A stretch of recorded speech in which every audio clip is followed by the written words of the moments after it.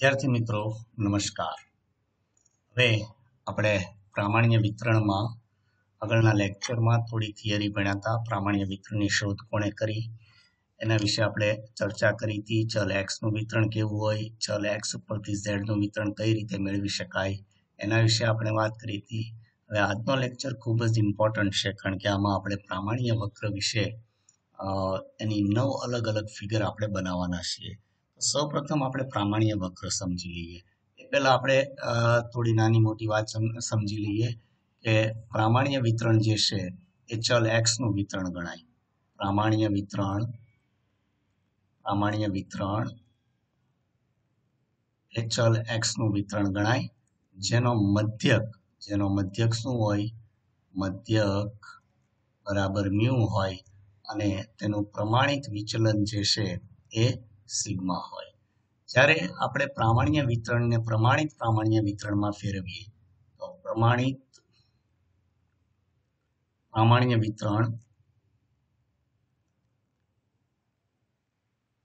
એ ઝેડનું વિતરણ ગણાશે, જેનો મધ્યક હંમેશા શૂન્ય હોય અને પ્રમાણિત વિચલન જે છે એ હંમેશા એક હોય છે. બરાબર? અને ઝેડની કિંમત આપણે ઝેડ કોષ્ટકમાંથી જોવાની હોય તો આપણે સૌ પ્રથમ ઝેડ કોષ્ટક કઈ રીતે જોવું એ જોઈ લઈએ. તો અહીંયા ઝેડની વિવિધ કિંમતો માટે આપણી પાસે કોષ્ટક અવેલેબલ છે. બરાબર છે? વેઇટ તો તમે જોઈ શકો છો ટેબલ ઓફ સ્ટેન્ડર્ડ નોર્મલ કવ આ બધી ઝેડની અલગ અલગ કિંમતો આપેલી છે. અહીંથી આપણે સ્પષ્ટ જોઈ શકીએ કે જો ઝેડ બરાબર ઝેડ બરાબર આપણે ઝેડ બરાબર એકની કિંમત મેળવી છે ઝેડ બરાબર એકની કિંમત તમે અહીંયા જોઈ શકો કે ઝીરો પોઈન્ટ ચોત્રીસ તેર મળે છે આપણને. જ્યારે ઝેડ બરાબર એક હોય ત્યારે તેનું ક્ષેત્રફળ આપણે એ ઝીરો પોઈન્ટ ચોત્રીસ તેર લખી શકીએ. એવી જ રીતે ઝેડ બરાબર માની લો બે છે. તો ઝેડ બરાબર બેનું આપણે ક્ષેત્રફળ જોવાનું હોય તો બેનું જોવાનું સુડતાલીસ બોતેર થશે. એ બરાબર એવી રીતે ઝીરો પોઈન્ટ કોઈ પણ કિંમત આપણે લઈ શકીએ. કે ઝેડનું ક્ષેત્રફળ માની લો કે આપણે ઝીરો પોઈન્ટ અઠ્ઠાણું નું જોવાનું છે, તો ઝીરો પોઈન્ટ નવનું આઠમાં આપણે જોઈએ એટલે તેત્રીસ પાસઠ થશે. એક પોઈન્ટ પચીસનું જોવું છે, તો એક પોઈન્ટ બે નું પાંચમાં આપણે જોવાનું પાંચ એટલે આ કોલમ થશે. એક પોઈન્ટ પચીસ એટલે ઓગણચાલીસ ચુમ્માલીસ. આવી રીતે તમે બહુ સિમ્પલ સરળ છે કોષ્ટક ઉપરથી ઝેડની કિંમત મેળવી શકો. પણ પ્રશ્ન એ છે કે આ જે ક્ષેત્રફળ આવ્યું, એ કોનું ક્ષેત્રફળ છે? ઝેડ બરાબર એક. પણ આપણને ખ્યાલ છે કે કોઈ પણ ક્ષેત્રફળ મેળવવા માટે મિનિમમ બે છેડા જોઈએ આવી રીતે. તો આપણે આની લંબાઈ માપી હોય તો લંબાઈ માપી શકીએ, અથવા તો સ્ક્વેર હોય, અથવા તો સર્કલ હોય, કોઈ પણ શેપ હોય, એનું તમે ક્ષેત્રફળ મેળવી શકો. તો બે છેડા ક્યાં છે? તો અહીંયા તમને ફિગરમાં દર્શાવેલું છે અહીંયા. અને સ્પષ્ટ ખ્યાલ આવી શકે એવું છે કે ભાઈ, આ બંને જે છેડા છે એ ઝેડ બરાબર ઝીરો અને ઝેડ બરાબર વન છે. એનો મતલબ એમ કે આપણે જે કાંઈ ક્ષેત્રફળ જોઈએ એ હંમેશા ઝીરોથી સ્ટાર્ટ થાય માઇન્ડમાં રાખવાનું. દાખલા તરીકે આપણે એકનું ક્ષેત્રફળ જોયું હતું ઝેડ બરાબર એકનું ચોત્રીસ તેર. તો આ શું ઇન્ડિકેટ કરે છે? તો કે ઝેડ બરાબર ઝીરો અને ઝેડ બરાબર એક વચ્ચેનું ક્ષેત્રફળ ઇન્ડિકેટ કરે છે. બરાબર? અહીંયા પણ લખેલું છે કે ઝેડ બરાબર ઝીરો થી ઝેડ બરાબર ઝેડ વન વચ્ચેનું કિંમત છે. ઓકે? તો ક્ષેત્રફળ આ કોષ્ટકમાં તમે જે કિંમત જોશો, એ કિંમત હંમેશા ઝીરો થી સ્ટાર્ટ કરીને જે તે કિંમત સુધી હશે. દાખલા તરીકે આપણે ઓગણીસ પંદર જોઈ. તો ઓગણીસ પંદર ઝીરો પોઈન્ટ પાંચની કિંમત છે. તો એનો મતલબ શું કરવાનો? ઝીરો થી ઝીરો પોઈન્ટ પાંચ વચ્ચેનું ડિસ્ટન્સ અથવા તો ઝીરો થી ઝીરો પોઈન્ટ પાંચ વચ્ચેનું ક્ષેત્રફળ કેટલું છે? ઝીરો પોઈન્ટ ઓગણીસ પંદર. ઓકે? ચાલો તો હવે આપણે પ્રામાણ્ય વક્રની અલગ અલગ આકૃતિઓ સમજીએ. એ પહેલા સૌ પ્રથમ આપણે પ્રામાણ્ય વક્ર આખો સમજવો પડશે. તો સૌ પ્રથમ આપણે પ્રામાણ્ય વક્ર સમજીએ. તો અહીંયા આપણી સામે પ્રામાણ્ય વક્ર છે, જેમાં બરાબર મધ્યમાં ઝેડ બરાબર શૂન્ય હોય, અહીંયા ઇન્ફિનિટી સુધી કિંમત હોય, અહીંયા માઇનસ ઇન્ફિનિટી સુધી એક્સ અક્ષના બંને છેડે અનંત લક્ષી છે અને જેનું કુલ ક્ષેત્રફળ એક છે, એટલે સો ટકા. ઝીરો થી ઝીરો થી પ્લસ ઇન્ફાઇનાઇટ સુધીનું ક્ષેત્રફળ છે ઝીરો પોઈન્ટ પાંચ. એવી જ રીતે ઝીરો થી માઇનસ ઇન્ફાઇનાઇટ સુધીનું ક્ષેત્રફળ છે ઝીરો પોઈન્ટ પાંચ. ઓકે? અને આ વક્રનું કુલ ક્ષેત્રફળ થશે એક. તો ઝીરો થી જમણી બાજુ પોઈન્ટ પાંચ અને ઝીરો થી ડાબી બાજુ પોઈન્ટ પાંચ. ધ્યાન રાખવાનું કે ક્ષેત્રફળ જે આપણે મેળવીએ છીએ એ હંમેશા પ્લસમાં જ આવશે. અહીંયા ઝેડની કિંમત પ્લસ અથવા માઇનસ હોઈ શકે. ચાલો તો હવે આપણે અલગ અલગ સિચ્યુએશન માટે ઝેડના અલગ અલગ ક્ષેત્રફળ મેળવીએ. તો આપણી પહેલી સિચ્યુએશન છે કે ઝેડની કિંમત ઝેડ બરાબર ઝીરો અને ઝેડ બરાબર એક ઝેડ વનની વચ્ચે હોય. ઝેડ વન એક કાલ્પનિક નંબર છે. ઝેડ વનની જગ્યાએ કોઈ પણ વસ્તુ હોઈ શકે. દાખલા તરીકે એક હોઈ શકે, એક પોઈન્ટ પાંચ હોઈ શકે, એક પોઈન્ટ પાંત્રીસ હોઈ શકે, એક પોઈન્ટ ઝીરો પાંચ હોઈ શકે, બે હોઈ શકે, બરાબર ઝીરો પોઈન્ટ કોઈ પણ નંબર હોઈ શકે. આપણે માત્ર એક કાલ્પનિક નંબર લઈએ છીએ. આપણે ચાર સ્ટેપમાં સમ ગણવાનો પહેલું એક્સ ઉપરથી ઝેડ મેળવવાનું, જે સિચ્યુએશન મેં ઓલરેડી મેન્ટેન કરી દીધી છે. સેકન્ડ સિચ્યુએશન આવશે તમારે ક્ષેત્રફળ મેળવવાનું. ત્રીજી સિચ્યુએશન આવશે આકૃતિ બનાવવાની. અને ચોથી જે સિચ્યુએશન છે, એના ઉપરથી આપણે પ્રોબેબિલિટી મેળવશું. બરાબર? ચાલો, તો પહેલું સ્ટેપ આપણું ક્લિયર છે.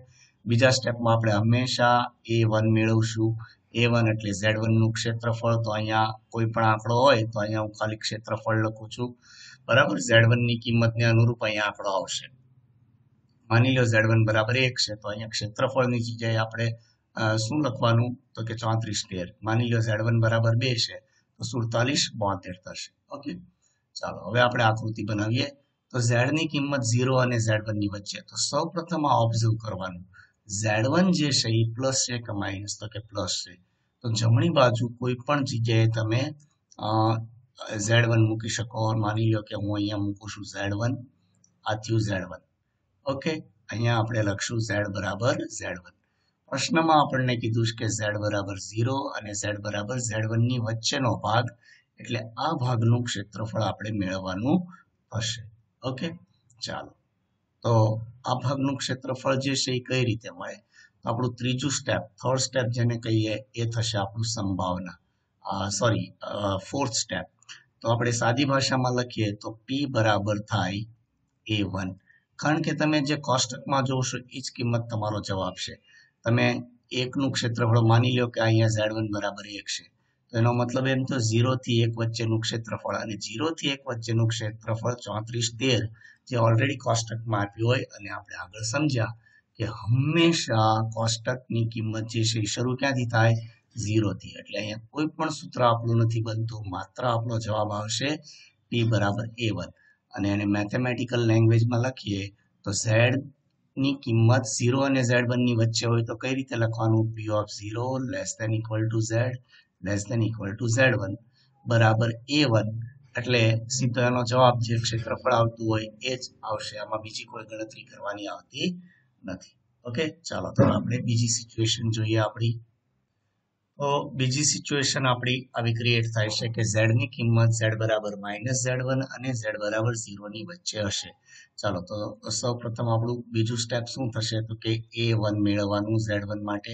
હવે મેં અગાઉ પણ તમને કીધું ઝેડની કિંમત પ્લસ અથવા માઇનસ હોઈ શકે. એની કિંમત કોઈ દિવસ માઇનસ મૂકવાની થતી નથી. એટલે એની કિંમત આપણે કહીશું ક્ષેત્રફળ બરાબર છે, જે આપણે કોષ્ટક ઉપરથી મેળવવાનું હોય. હવે આકૃતિ બનાવતા પહેલા આપણું આખું ફિક્સ ફોર્મેટ રેડી છે, તો કે યસ હવે તો ઝેડ વનની કિંમત કેવી છે? માઇનસ તો માઇનસ કઈ બાજુ આવે? તો કે ડાબી બાજુ આવે. ઝીરો ની ડાબી બાજુ. અહીંયા આપણે મૂકીએ છીએ ઝેડ વન ચાલો માની લઈએ કે આ Z equal to minus Z one છે. આપણે ક્ષેત્રફળ મેળવવાનું છે માઇનસ ઝેડ વન અને ઝીરો ની વચ્ચેનો ભાગ એટલે આ ભાગ આપણે મેળવવાનો થાય છે. બરાબર છે? તો સંભાવના શું થશે? આપણે સંભાવના મેળવીએ તો આપણું ચોથું સ્ટેપ પી બરાબર આમાં પણ ખાલી એ વન થશે. એનું કારણ છે કે ઝીરો અને ઝેડ વન વચ્ચેની જે સંભાવના છે એ શું થાય? ડાયરેક્ટ ક્ષેત્રફળ આપણે કોષ્ટકમાંથી જોઈ શકીએ. અને સારી રીતે લખીએ તો શું લખાય? P of minus Z one less than equal to Z less than equal to zero પરંતુ આ જે વિતરણ છે, આ ગ્રાફ છે એ સમમિત છે. એટલે માઇનસ લખો કે પ્લસ લખો, ફરક પડતો નથી. તો અહીંયા આપણે આ કિંમત જે છે ઝેડની એને પ્લસ કરી નાખીએ તો આ રીતે સમિતતાના કારણે આપણે આ રીતે લખશું. ઝેડ બરાબર zero, less than equal to Z less than equal to Z one. તો માઇનસ ને પ્લસ કરવા માટે કશું નથી કરવાનું. ઝીરો સાથે ખાલી એનું સ્થાન ફેરવી દેવાનું છે. પોઝિશન ફ્લિપ કરવાની છે. બરાબર, આપણો જવાબ શું થશે? A one. જે આપણે કોષ્ટકમાં જોયો હોય તે. તમે બંને આકૃતિ જોઈ શકો છો. અહીંયા ઝીરોની સાથે કનેક્ટેડ છે, અહીંયા પણ ઝીરોની સાથે કનેક્ટેડ છે. બરાબર? એક જમણી બાજુ છે અને એક ડાબી બાજુ છે. તો જવાબ કેવો આવે? એકદમ સરખો આવે A one A one okay ચાલો, તો હવે આપણે સિચ્યુએશન નંબર ત્રણ જોઈએ. ચાલો, તો આપણી ત્રીજી સિચ્યુએશન છે. ઝેડની કિંમત ઝેડ બરાબર ઝેડ વનથી વધુ હોય. ઓકે તો સૌ પ્રથમ આપણે શું કરવાનું તો કે આપણે મેળવવાનું ઝેડ વન માટે એ વનની કિંમત મેળવવાની. ચાલો, તો એ વન બરાબર શું થાય? તો કે ક્ષેત્રફળ થાય. અને યાદ રાખવાનું, ક્ષેત્રફળની રેન્જ શું છે? તો કે હંમેશા ઝીરો થી સ્ટાર્ટ થઈને ઝેડ વનની વચ્ચે હોય છે. બરાબર છે? તો એ વસ્તુ આપણે ભૂલવાની નથી. આપણું ત્રીજું સ્ટેપ આપણે ગ્રાફ બનાવીએ તો આ આપણો ગ્રાફ રેડી છે અહીંયા. બરાબર છે? તો પહેલા સૌ પ્રથમ તમારે આ રીતે ફિક્સ ગ્રાફ બનાવી દેવાનો. હવે આપણે નક્કી કરીએ કે ઝેડ વન કેવી કિંમત છે? પ્લસ કે માઇનસ તો કે પ્લસ છે. તો હું અહીંયા મૂકું છું ઝેડ બરાબર ઝેડ વન શોર્ટમાં હું ઝેડ વન લખીશ ખાલી.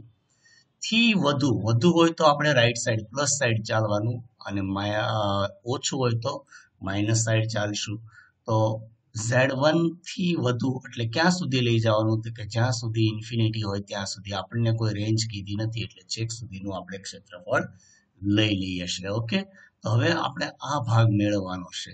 ચાલો, બહુ ઇમ્પોર્ટન્ટ છે વેઇટ અરે, આટલા ભાગનું આપણે ક્ષેત્રફળ મેળવવાનું છે. ચાલો, એની પાછળનું લોજિક આપણે થોડું સમજી લઈએ કે તમે બધા જાણો છો કે ભાઈ, આ ભાગ જે છે, આખો ભાગ આખો ભાગ જે છે પ્રામાણ્ય વક્રનો, એનું ક્ષેત્રફળ કેટલું છે? તો કે આખા ભાગનું ક્ષેત્રફળ જે છે, એ છે ઝીરો પોઈન્ટ પાંચ. ઓકે? ક્ષેત્રફળ કેટલું છે? ઝીરો પોઈન્ટ પાંચ. હવે તમે જે કોષ્ટકમાં જોયું કોષ્ટકમાં જોયું, એ કિંમત તમે જોઈ એ વન બરાબર છે? તો એ વન એટલે કયો ભાગ થયો? તો કે એ વન એટલે આટલો ભાગ થયો. એ વન જે છે, એ આ ભાગ થયો. ઝીરો અને ઝેડ વનની વચ્ચે હમણાં આપણે કીધું કે હંમેશા ક્ષેત્રફળ ક્યાંથી શરૂ થાય? ઝીરો થી શરૂ કરીને ઝેડ વન સુધીનું હોય. તો આ ભાગ જે છે એ એ વન છે. આટલો ભાગ એ વન છે. તો ઓબ્વિયસલી અહીંથી આપણે સ્ટાર્ટ કરીએ.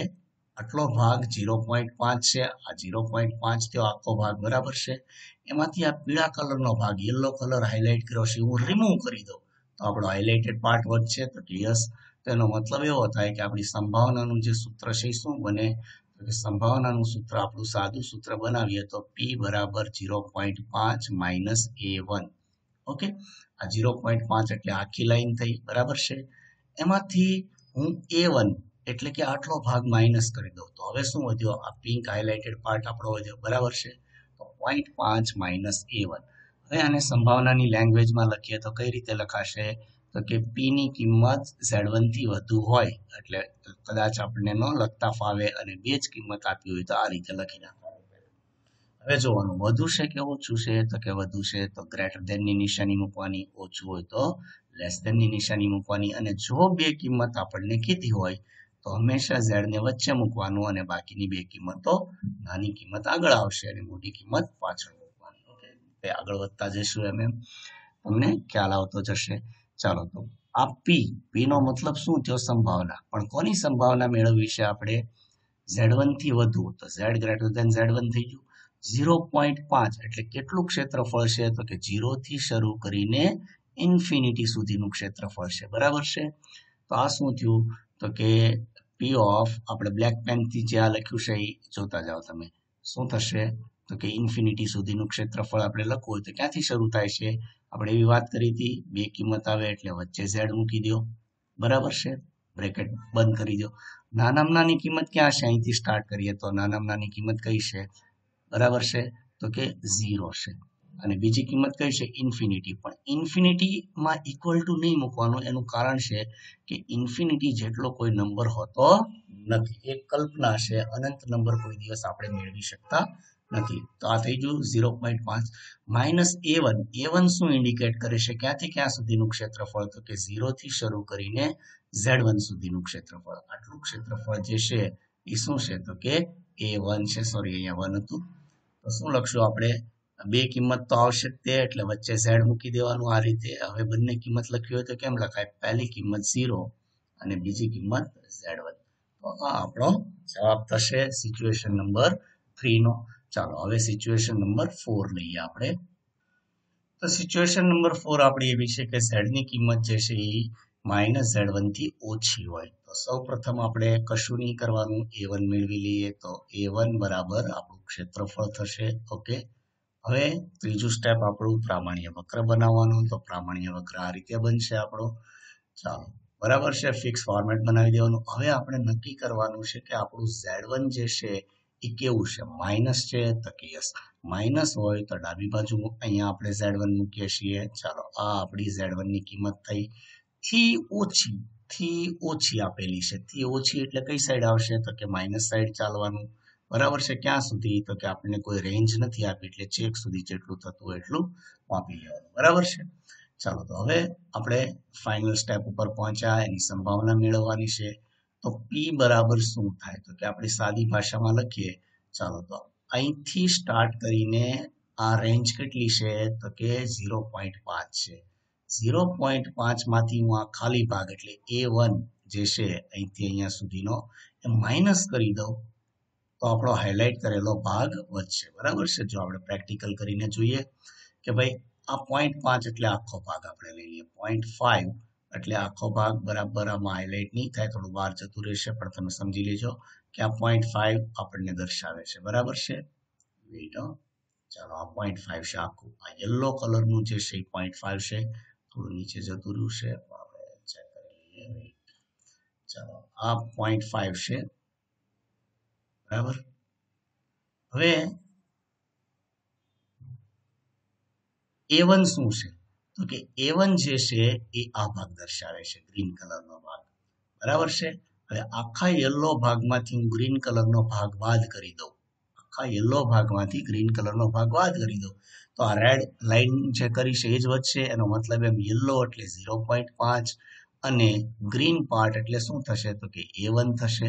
બરાબર? તો આપણું સૂત્ર શું થાય? તો કે પોઈન્ટ પાંચ માઇનસ એ વન હવે સંભાવનાના સ્વરૂપમાં આપણે લખવું હોય તો કઈ રીતે લખાય?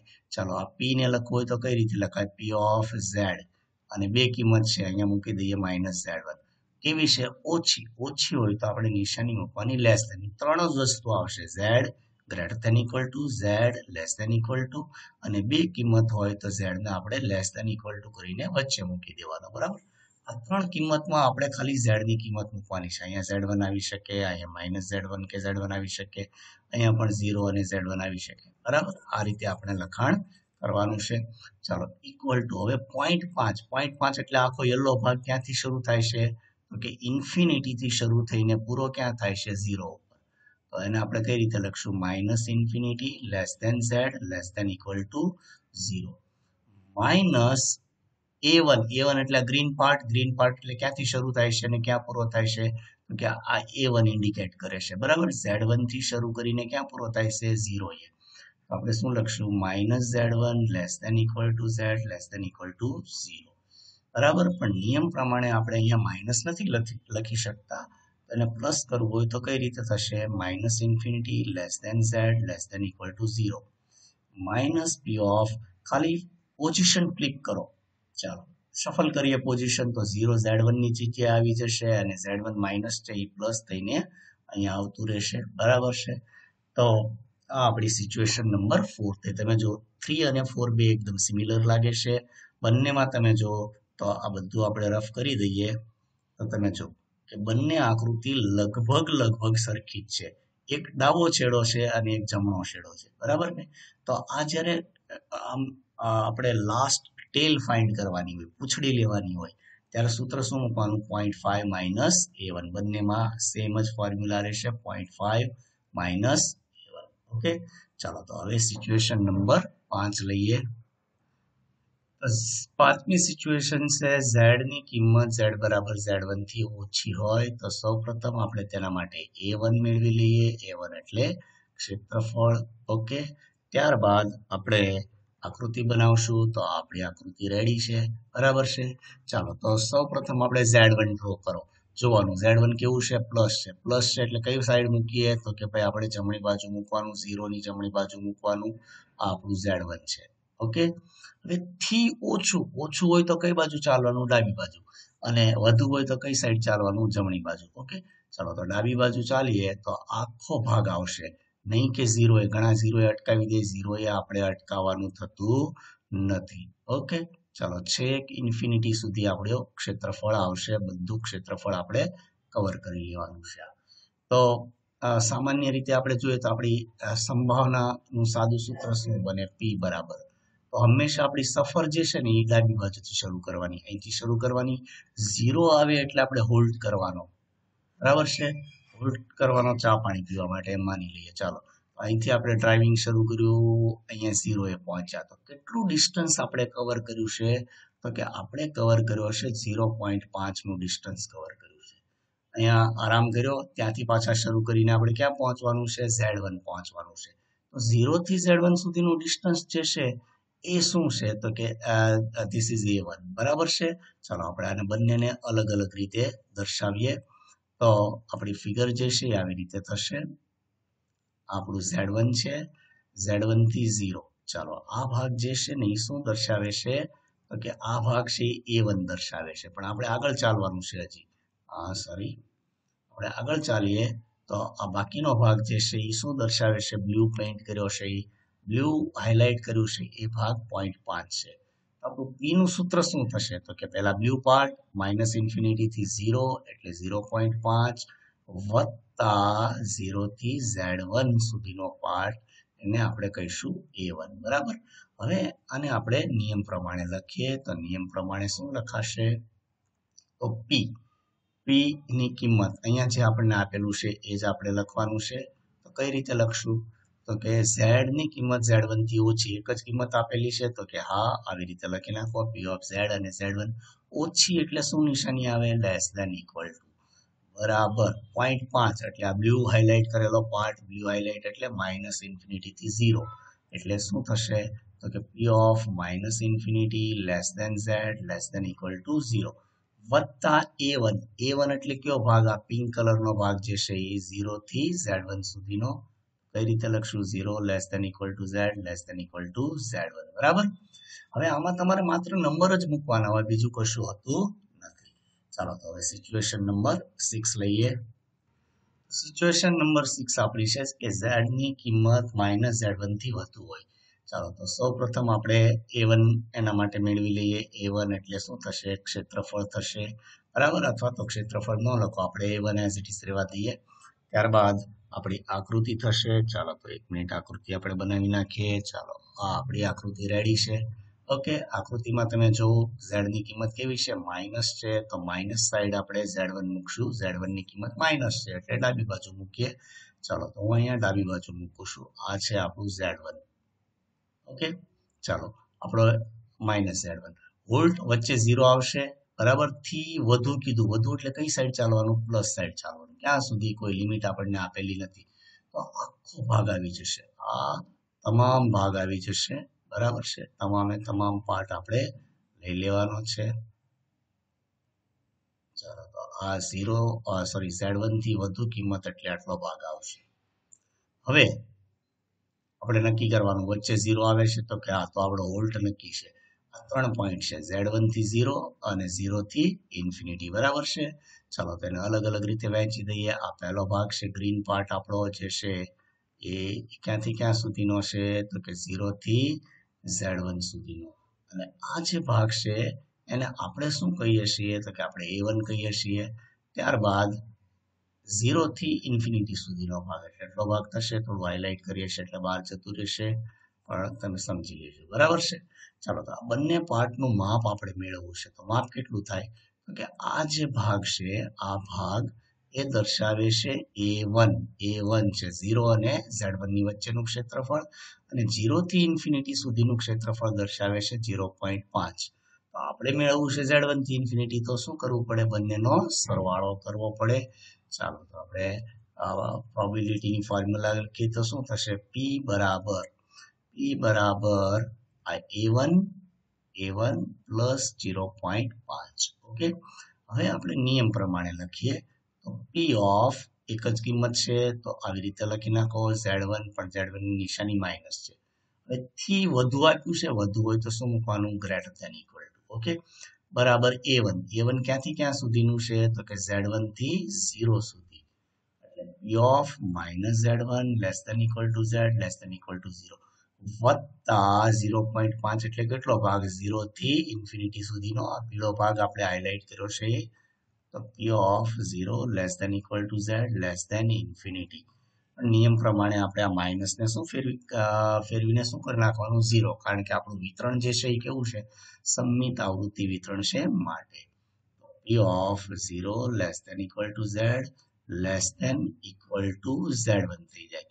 વત્તા P of zero less than equal to Z less than infinity હવે તમે પાંચ અને છ નંબરની ફિગર કમ્પેર કરો તો ઓલમોસ્ટ બે સરખી છે આ ફિગરમાં આપણે ડાબી બાજુ, જમણી બાજુથી શરૂ કરીને ડાબી બાજુ જતા હતા. આ રીતે બરાબર છે? એનો આન્સર પણ point five plus A one આવતો હતો અને અહીંયા ડાબી બાજુથી જમણી બાજુ એન્ડ સુધી જતા હતો તો એનો આન્સર પણ કેટલો આવ્યો? Point five plus A one બરાબર છે? તો તમે છ છ આકૃતિ કમ્પેર કરો. ફર્સ્ટ બે જે છે, પહેલી બે આકૃતિ એ ઝીરો સાથે કનેક્ટેડ હતી. બરાબર છે? આ વન અને આ ટુ તો ઝીરો સાથે કનેક્ટેડ હતી આન્સર કેવો આવ્યો? સરખો જ આવ્યો. બરાબર છે? તો કે યસ હવે આપણે નંબર બે અને ત્રણ જોઈએ. તો બંનેમાં ટેલ આવતી હતી, આ પૂંછડી આવતી હતી. આ કોમન ભાગ હતો બંનેમાં, એક ડાબી બાજુ, એક જમણી બાજુ. તો પણ આન્સર કેવો આવતો હતો સેમ જ આવતો હતો point five minus A one હવે આપણે આકૃતિ નંબર પાંચ અને છ જોઈએ. તો પાંચ અને છ માં તમે જો કે શું છે? તો કે ભાઈ જમણી બાજુથી શરૂ કરીને ડાબી બાજુ એન્ડ સુધી આપણે જવાનું હતું. અહીંયા તો કે ડાબી બાજુથી શરૂ કરીને જમણી બાજુ એન્ડ સુધી જવાનું હતું. તો પણ બંનેનો આન્સર કેવો આવ્યો? સેમ જ આવ્યો. બરાબર છે? તો અહીંયા ડાબી સાઈડ અને જમણી સાઈડ માત્ર તમને એક સાઈડ ઇન્ડિકેટ કરે છે. એનો મતલબ માઇનસ લેવાનો નથી. ઓકે ચાલો તો હવે આપણે આગળની સાત, આઠ અને નવ, એમ ત્રણ ફિગર એક જ પ્રકારની છે, તો ત્રણેય ફિગર આપણે સાથે બનાવીએ. ચાલો, આપણી સિચ્યુએશન નંબર સાત એવી છે કે ઝેડની કિંમત ઝેડ બરાબર ઝેડ વન અને ઝેડ બરાબર ઝેડ ટુ વચ્ચે હોય. અહીંયા બે કિંમતો આવી ઝેડની તો બંને માટે આપણે રિસ્પેક્ટિવલી એ વન અને એ ટુ બંનેના ક્ષેત્રફળને આપણે કહીશું. ચાલો, ત્યારબાદ આપણે આકૃતિ બનાવીએ. તો આકૃતિ આપણી આ રીતે થશે. બરાબર છે? હવે બંને કિંમત તમે જોઈ શકો. બંને કિંમત કેવી છે? ઝેડ વન અને ઝેડ ટુ પ્લસ છે. તો એમાં એવું આપણે માની લઈએ કે ઝેડ વન અને ઝેડ ટુ અહીંયા કોઈ આઈડેન્ટિફિકેશન આપણે નથી આપ્યું, પણ એવું માની લઈએ કે ઝેડ વન, ઝેડ ટુ કરતા નાનું હશે. બરાબર? આપણે વન અને ટુ પ્રમાણે ચાલીએ તો એક, બે કરતા નાનો હોય. તો હું અહીંયા મૂકું છું ઝેડ વન. ચાલો, આ ભાગ સોરી આ ભાગ જે છે એ ઝેડ વન નો ભાગ છે માની લઈએ આપણે આ. બરાબર સ્ટ્રેટ લાઈન કરવામાં થોડી પ્રોબ્લેમ થાય છે. અને આ ભાગ છે એ આપણો ઝેડ ટુ છે. બરાબર ઝેડ ટુ આપણે મેળવવાનું છે ઝેડ વન અને ઝેડ ટુ વચ્ચેનો ભાગ એટલે આટલો ભાગનું ક્ષેત્રફળ આપણે મેળવવાનું છે. ઓકે ચાલો, તો એમાં કાંઈ બહુ પહેલું નથી. ધ્યાનથી સમજો કે આ એ વન અને એ ટુ તમે મેળવ્યું છે એ શું ઇન્ડિકેટ કરે છે? તો એ વન ઇન્ડિકેટ કરે છે Z one A one Indic sorry sorry sorry A two આ એ ટુ જે છે એ શું ઇન્ડિકેટ કરે છે એ ટુ ઇન્ડિકેટ કરે છે ઝેડ ટુ થી ઝીરો સુધીનું અંતર. આ અંતર જે છે એ એ ટુ છે. બરાબર? અને એ વન શું ઇન્ડિકેટ કરે છે? તો કે ઝીરો થી ઝેડ વન સુધીનું અંતર છે. આ છે આપણા માટે એ વન અને આપણે મેળવવાનું છે આ ભાગ. તો ઓબ્વિયસલી તમે જો કે હું આ બ્લેન્ક ભાગ છે, આ બ્લેન્ક પાર્ટ એ કટ કરી દઉં, એ કટ કરી દઉં. આ આપણે હાઇલાઇટ કરીને જોઈ લઈએ. આટલો ભાગ હું કાઢી નાખું, ગણતરીમાંથી. બરાબર છે? આટલો ભાગ કાઢી નાખું. તો શું વધ્યું આ બ્લુ હાઇલાઇટેડ આ તો આઉટ ઓફ કેલ્ક્યુલેશન છે કેલ્ક્યુલેશનમાં નથી આવતું. તો આપણો આ બ્લુ પાર્ટ વધ્યો. બ્લુ પાર્ટ એટલે આપણે જોઈ શકીએ, આ યલો હાઇલાઇટ કરું છું. આટલા ભાગનું આપણને ક્ષેત્રફળ મળી શકે. કઈ રીતે મળી શકે? કે આ એ ટુ જે છે એ ટુ માંથી બે જગ્યાએ એ ટુ લખાઈ ગયું એકચ્યુઅલી આ એ વન છે. એ ટુ માંથી હું એ વન માઇનસ કરી દઉં. આ એ ટુ આમ, આ લાંબી લાઈન છે, આ માની લો એ ટુ છે. અને આ એ વન છે. બરાબર છે? એ વન અને આપણે આટલા ભાગનું ક્ષેત્રફળ મેળવવાનું છે. તો શું થાય? કે ભાઈ એ ટુ માંથી હું એ વન જે છે એ ઉડાડી દઉં કટ કરી દઉં. એટલે આ આપણો ભાગ જે હતો સોરી આ એક બોક્સ છે, માની લો બોક્સ અથવા સ્કેલ છે, એ પણ આપણે કહી શકીએ. અહીંયા પોઈન્ટ આપણને આપેલો છે એ અને અહીંયા પોઈન્ટ આપેલો છે બી બરાબર છે? એની લંબાઈ છે પાંચ ફૂટ, માની લો એની લંબાઈ છે પાંચ ફૂટ. અને બીની લંબાઈ જે છે બીની લંબાઈ છે એ ત્રણ ફૂટ છે. હવે મારે મેળવવું છે એ અને બી વચ્ચેનો ભાગ. એ અને બી વચ્ચેનો ભાગ એટલે આ ભાગ મારે મેળવવો છે. તો શું થાય? કેટલો હશે? આ અંતર કેટલું છે? કે બહુ ઇઝી છે કે ભાઈ ટોટલ પાંચ ફૂટ છે. પાંચ ફૂટમાંથી હું ત્રણ ફૂટ બાદ કરી દઉં. જવાબ બે ફૂટ આવે, તો આટલો ભાગ બે ફૂટ હશે, કારણ કે ત્રણ ફૂટ વત્તા બે ફૂટ બરાબર કુલ કેટલું થાય? પાંચ ફૂટ બરાબર? તો મોટા ક્ષેત્રફળમાંથી નાનું બાદ કર્યું. એવી જ રીતે અહીંયા આપણી સંભાવના પી બરાબર શું થશે? પી બરાબર થશે A two minus A one બરાબર? હવે બંને લખવાનું કઈ રીતે?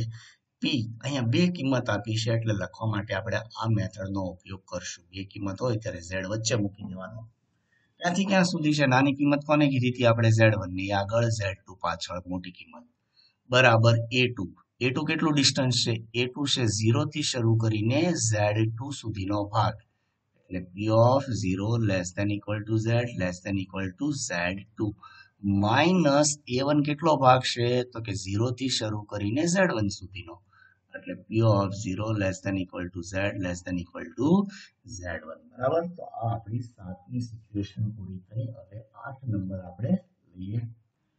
ચાલો, તો ત્યાર પછીની આપણી સિચ્યુએશન છે ઝેડની કિંમત ઝેડ બરાબર માઇનસ ઝેડ ટુ અને ઝેડ બરાબર માઇનસ ઝેડ વનની વચ્ચે હોય તો બંને કિંમતો કેવી છે? માઇનસ છે.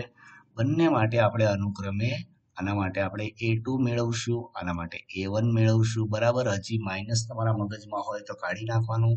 ડિસ્ટન્સ ક્યુ મોટું છે એ જોવાનું. બરાબર છે? માઇનસ નિશાની ખાલી જમણી ડાબી બાજુ ઇન્ડિકેટ કરે છે. નથિંગ એલ્સ ચાલો, તો અહીંયા આપણે એવું જ સમજશું કે ઝેડ વન છે એ ઝીરોની નજીક છે ઝેડ ટુ છે એ ઝીરોથી દૂર છે. બરાબર? તો હું અહીંયા મૂકું છું ઝેડ વન ચાલો, અહીંયા આપણે પુટ કરીએ છીએ ઝેડ વન વેલ્ટા સ્ટ્રેટ લાઈન કરવાની છે. ઝેડ વન સમજી લેજો આ સ્ટ્રેટ લાઈન થાય છે, એવું સમજી લેજો. બરાબર? ડ્રો કરવામાં થોડો પ્રોબ્લેમ થાય આ ટાઈપમાં આ માઇનસ ઝેડ વન બરાબર? અને આ માની લો કે માઇનસ ઝેડ ટુ છે. માઇનસ ઝેડ ટુ આપણે મેળવવાનું છે માઇનસ ઝેડ ટુ અને માઇનસ ઝેડ વન વચ્ચેનો ભાગ, એટલે આટલો ભાગ આપણે મેળવવાનો છે. અને જે આપણે આ બોક્સ લીધું હતું, એ જ બોક્સનો કન્સેપ્ટ પણ આવું માની લો કે અહીંયા એ પોઈન્ટ છે બરાબર છે? અને એ પોઈન્ટનું ક્ષેત્રફળ કેટલું છે? પાંચ ફૂટ છે. બરાબર છે? અહીંયા બી પોઈન્ટ છે. બી પોઈન્ટનું ક્ષેત્રફળ કેટલું છે? ત્રણ ફૂટ છે. આપણે એ અને બી વચ્ચેનો ભાગ જોઈએ છે. એ અને બી વચ્ચેનો ભાગ જોઈએ છે. તો તમે શું કરશો? ટોટલ આ જે લેન્થ છે, પાંચ, એમાંથી ત્રણ બાદ કરી દો. સોરી હા, તો કેટલા ફૂટ વધશે? બે ફૂટ વધશે. બરાબર છે? તો એ જ કન્સેપ્ટ અહીંયા લઈએ. ઝેડ ટુ થી ઝીરો સુધીનો ભાગ એ લાંબો ભાગ છે, મોટું ક્ષેત્રફળ છે. ઝીરો થી ઝેડ ટુ સુધીનું આ જે છે આપણા માટે એ ટુ છે અને ઝેડ વનથી ઝીરો સુધીનો ભાગ છે એ આપણા માટે શું છે? એ વન તો મોટા ક્ષેત્રફળમાંથી આ એ વન એ વન એટલે આ ભાગ માઇનસ કરી દો તો શું વધશે? હાઇલાઇટેડ ભાગ વધશે. બરાબર છે? ચાલો. તો એને આપણે લખીએ. તો આ રીતે લખાશે. પહેલા આપણી પ્રોબેબિલિટી લખીએ. પી બરાબર શું થશે? A two minus A one ચાલો, નિયમ પ્રમાણે લખીએ તો પી ઓફ ઝેડની કિંમત બે વખત આપેલી છે. એટલે આપણે વચ્ચે ઝેડ મૂકી દઈએ અને બ્રેકેટ ક્લોઝ કરી દઈએ. નાની કિંમત કઈ ગણાશે? અહીંયાથી આપણે ડાબી બાજુથી જોવાની. નાની મોટાની જરૂર નથી. આ ઝેડ ટુ પહેલી કિંમત. અને અહીંયા માઇનસ ઝેડ વન થશે. બરાબર. ચાલો. A two minus A one A two શું ઇન્ડિકેટ કરે છે? માઇનસ ઝેડ ટુ થી શરૂ કરીને ક્યાં સુધી પહોંચવાનું છે? આપણે ઝીરો સુધી પહોંચવાનું છે. Minus Z two less than equal to Z less than equal to zero એમાંથી માઇનસ કરો ઝેડ વનથી ઝીરો સુધીનું ક્ષેત્રફળ. એટલે P of minus Z two less than equal to Z less than equal to zero પણ આવૃત્તિ વિતરણની સમીકરણને કારણે આપણે માઇનસને શેમાં ફેરવી દેવાનું? પ્લસમાં ફેરવી દેવાનું. અહીંયા વન છે સોરી તો કઈ રીતે થશે? પ્લસમાં ફેરવવા માટે ખાલી આ બેની પોઝિશન્સ આપણે ફ્લિપ કરવાની છે. તો શું થાય? Zero less than equal to Z less than equal to Z two minus P of zero less than equal to Z less than equal to Z one આ આપણો જવાબ થશે. બંને ફિગરમાં શું સિમિલારિટી છે? તો કે બંનેમાં બે કિંમતો આપેલી છે, એક ડાબી બાજુ છે, એક જમણી બાજુ છે, બરાબર છે? ટૂંકમાં બે કિંમત આપણને આપેલી હોય અને એક જ સાઈડ હોય, કાં તો ડાબી બાજુ હોય, કાં તો જમણી બાજુ હોય. તો શું કરવાનું? મોટા ક્ષેત્રફળમાંથી નાનું ક્ષેત્રફળ માઇનસ કરવાનું. આ જમણી બાજુ છે અને આ ડાબી બાજુ છે. જ્યારે પણ આવી સિચ્યુએશન આવે, ત્યારે મોટા ક્ષેત્રફળમાંથી નાનું ક્ષેત્રફળ બાદ કરી દેવાનું. ચાલો તો હવે આપણે આપણી છેલ્લી સિચ્યુએશન જે છે પ્રામાણ્ય વક્રની એ લઈ લઈએ. તો આપણી લાસ્ટ સિચ્યુએશન આવી ઝેડની કિંમત માઇનસ ઝેડ વન અને ઝેડ ટુ ની વચ્ચે હોય. ચાલો તો એના માટે આપણે ક્ષેત્રફળ મેળવીએ તો ઝેડ વનનું ક્ષેત્રફળ એ વન થશે ઝેડ ટુ નું ક્ષેત્રફળ એ ટુ થશે. ત્યારબાદ આપણે આકૃતિ બનાવીએ તો આપણી આકૃતિ રેડી છે. બરાબર છે? ચાલો તો ઝેડ વન તમે જોઈ શકો માઇનસ છે. જ્યારે ઝેડ ટુ કેવી કિંમત છે? પ્લસ છે. એક કિંમત ડાબી બાજુ આવશે, એક કિંમત જમણી બાજુ આવશે. અહીંયા માની લો કે હું મૂકું છું માઇનસ ઝેડ વન. બરાબર? બંનેનું અંતર સરખું હોવું જરૂરી નથી. આગળ પાછળ હોઈ શકે, નાનું મોટું હોઈ શકે. તો આ આપણું માઇનસ ઝેડ વન છે. અને ઝેડ ટુ, એટલે અહીંયા છે માની લો ઝેડ ટુ, આપણું ઝેડ ટુ છે. આપણે આ બંનેની વચ્ચેનો ભાગ મેળવવાનો છે. તો આપણે ઝીરો વચ્ચે આવે ત્યારે શું કીધું તો હોલ્ડ કરવાનું. હોલ્ડ કરવાનું એટલે પેલા આરામ કરવાનો. ઝેડ વનથી આપણે પહોંચી ગયા ઝીરો સુધી. ચાલો. બરાબર? હવે ઝીરો થી સફર શરૂ કરીને ક્યાં સુધી લેવાની છે? ઝેડ ટુ સુધી લેવાની છે. બરાબર? તો આ બે ભાગ તમે સ્પષ્ટ જોઈ શકો છો. શું આવે છે? આ ઝેડ વનથી ઝીરો અને ઝીરો થી ઝેડ ટુ ઝેડ વનથી ઝીરો નો ભાગ જે છે, આ ભાગ એ એ વન છે અને આ ભાગ એ ટુ છે. તો આપણે આટલો ભાગ, આટલું ડિસ્ટન્સ કવર કરવું હોય શું કરવું પડે? બંનેનો સરવાળો કરવો પડે. એટલે આપણું સૂત્ર શું થશે? A one plus A two બરાબર? નિયમ પ્રમાણે લખીએ તો શું લખાશે? બે કિંમત છે, એટલે ઇન્ટરવલ બનાવી દેવાનો આ રીતે. લેસ દેન ઇક્વલ ટુ કરીને. અહીંયા આપણે મૂકશું આગળ. નાની કિંમત ઝેડ વન અહીંયા ઝેડ ટુ બરાબર? નાની એટલે ડાબી બાજુની કિંમત. A one plus A two તો એ વન કેટલું ડિસ્ટન્સ કવર કરે છે? માઇનસ ઝેડ વનથી ઝીરો સુધીનો. એટલે of of minus Z one less to z less than equal to zero વત્તા એ ટુ કેટલું ડિસ્ટન્સ કવર કરે છે? ઝીરો થી Z two zero less equal to to Z less equal to to Z two સમિતતાને કારણે માઇનસનું આપણે શું કરી દેવાનું? પ્લસ એટલે આપણું સૂત્ર શું થશે? Zero less than equal to Z less than equal to Z one plus of of zero less equal to to Z less equal to to Z two તો આ આપણી નવ આકૃતિ થઈ. ચાલો, હવે આપણે સિમિલારિટી જોઈ લઈએ અને નવ આકૃતિમાં શું સિમિલારિટી આવે છે? તો કે બે આકૃતિનું ગ્રુપ બનાવે પહેલી બે ફિગર છે, એમાં ઝીરો સાથે જ્યારે પણ કનેક્ટેડ હોય, કોઈ પણ નંબર એ પછી કઈ સાઈડ હોય? તો કે ભાઈ, આ જમણી બાજુ હોય કે ડાબી બાજુ હોય, જવાબ કેવો આવે? સરખો જ આવે એ વન બરાબર છે? એમાં કોઈ સૂત્રનો આપણે ઉપયોગ કરવાનો થતો નથી. સિચ્યુએશન નંબર બે. ચાલો અહીંયા પહેલેથી આપણે હાઇલાઇટ કરેલી જ છે. સિચ્યુએશન નંબર બે. તો કે બંનેમાં ટેલ આવે છે, પૂંછડી આવે છે, જો તમે જોઈ શકો. બંનેમાં ટેલ આવે ત્યારે સેમ ફોર્મ્યુલા આવે point five minus A one બરાબર છે? પછી, ત્યાર પછીની આપણે જોઈએ પાંચ અને છ. તો એમાં પણ એવું જ છે કે ભાઈ એક સાઈડ ક્લિયર હોય. કઈ સાઈડ ક્લિયર હોય?